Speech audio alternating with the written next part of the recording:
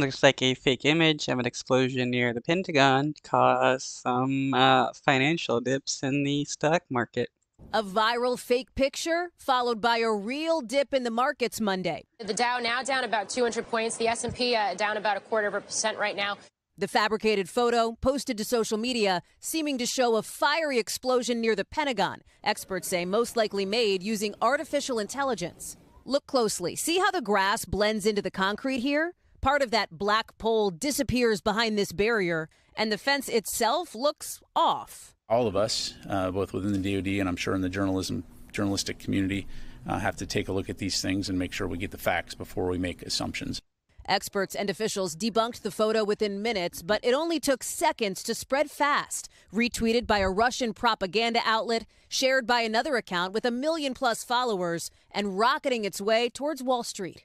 It's not just that they can create the image, but then they can put it on a verified Twitter account and have it go viral to the tune of millions of views in minutes. And now we've got the market moving half a trillion dollars. Part of the problem? The fake image was retweeted by accounts with blue check marks, including one pretending to be Bloomberg News, which has since been suspended. Th- that that's funny.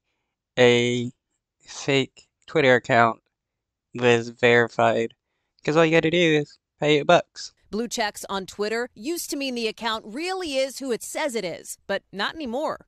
Anyone who wants to pay that $8 a month can be verified, and therefore it gets promoted higher in Twitter's algorithm. People are more likely to see it. So basically, anyone can pay to pretend to be anyone, and we get fake things like this. Experts warn this may not be an isolated incident for long.